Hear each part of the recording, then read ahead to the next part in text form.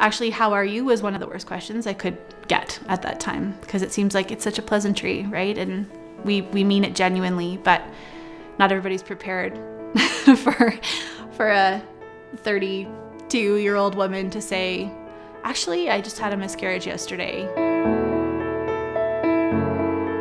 So when I was seven weeks pregnant, I got a phone call from the doctor's office saying that they had referred me for an eight week scan, which is basically called a dating and viability scan, which, as a person who's just gotten pregnant, that's kind of a triggering way of wording it because it's already questioning whether your baby is real or not, right? And she kind of like was running the wand around on my belly and and there was just this black hole and I had this feeling right away.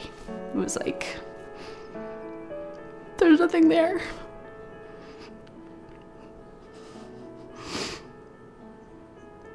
There was nothing.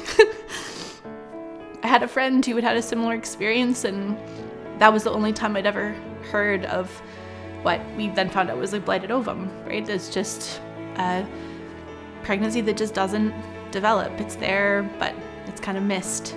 When I was about approximately between nine and 10 weeks, and I just knew like I could just feel I, at that point it was like cramping and I was like, it's done.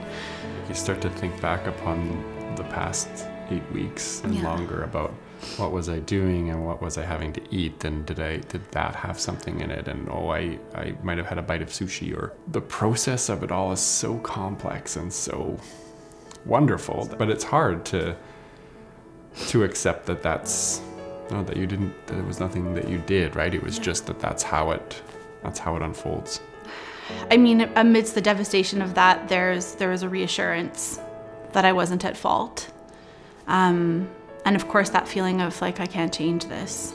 I want this to be a certain way, but I I can't make it any different than it is. We had the pregnancy app that outlines how big your baby is at different stages, and and I think one of the very first ones was uh, your baby is the size of a speck. So for a little while we were we were talking about the baby as the speck. Yeah. Um, and that's sort of how we collectively refer to that baby as is yeah. the speck. The speck. yeah. yeah. Yeah, and then of course then we find out that the actual what was in there was just a gestational sac. I did refer to it as Zach the sack at one point because I needed to keep my sense of humor in check. Life is full of so many ups and downs and we're all going through it together and I think if we if we try and keep it inside it's just it's so much harder. Mm. So even just as we were going through it and somebody asking, how are you today? Or how are things going? And you being able to share that, you're right, it does open up so much more conversation about these things and about um, other people's experiences. And those things together all help us connect with it, with each other more. And I think that can only result in us all being stronger to go through those experiences together. Yeah, we got to the point where we were like, okay, let's try again see what happens. Um, but I got pregnant pretty quickly, and um, that second time was like, okay, let's let's do this. We're doing this again. The thing I've learned through this experience is that loss affects every pregnancy you have. Like anxiety in both pregnancies in the first trimester was totally apparent because that's when I lost the first one. I do remember specifically that first moment we heard the heartbeat for the first time, and both of us just dissolved. Now our daughter B is two and a half and running around and jumping around and yelling and screaming, and it's always interesting taking that step back and looking at, yeah, the, our first experience being pregnant and and what that was like, and then fast forwarding to now where we have a little one, and then another little one on the way too. We have absolutely the child we were meant to have because of that loss. I do think about the speck. Um, and I guess I think less about what this, who the speck might have been, but I think about what the speck did for us.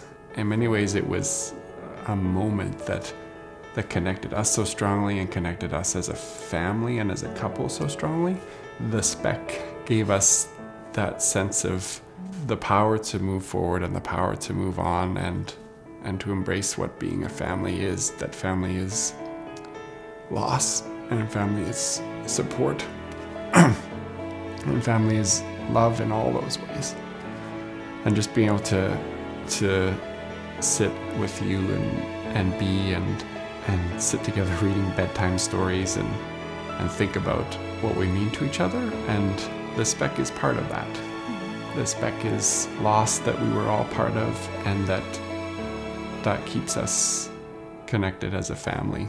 That a family is all parts of everyone together the messy, the strong, the complicated, but the beautiful, all in its own way.